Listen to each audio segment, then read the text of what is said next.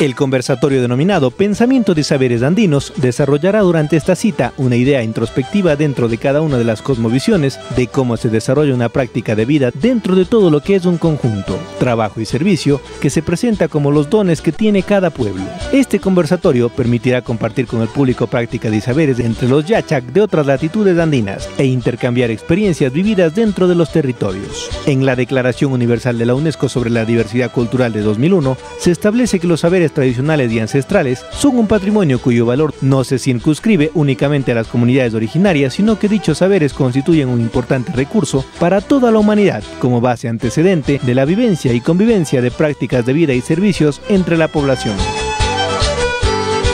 Como participantes de esta cita está el Yachak Nacional Intiquilla Hugo Jati, oriundo de la provincia del Napo, acompañado de Yatiri Leonisa Soto, de Perú, y desde Argentina, desde el pueblo mapuche Gabriel Colipi. Se denominan conocimientos y saberes ancestrales y tradicionales a todos aquellos saberes que poseen los pueblos y comunidades indígenas y que han sido transmitidos de generación en generación por los siglos. Estos conocimientos y saberes se han conservado a lo largo del tiempo, principalmente por medio de la tradición oral de los pueblos originarios y también de prácticas y costumbres que han sido transmitidas de padres a hijos en el marco de la convivencia entre los pueblos indígenas. Como historia se cuenta que la cosmovisión de los diferentes pueblos que nos precedieron en el tiempo se constituyó en poderoso instrumento de ordenamiento filosófico de pensamiento, uso de las matemáticas, ingeniería, agricultura, celebraciones, arquitectura, distribución de ciudades, sitios sagrados, entre otros.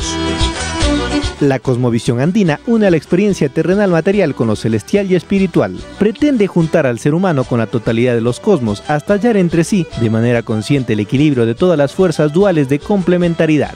El objetivo del Museo de la Casa de la Cultura es la conservación, promoción y difusión del patrimonio material e inmaterial. Por este motivo, se realiza este conversatorio que permitirá compartir con el público prácticas y saberes entre los yachak y otras latitudes andinas. Se busca intercambiar experiencias vividas con sus respectivos pueblos en relación a prácticas sanadoras a través de las propiedades de las plantas nativas.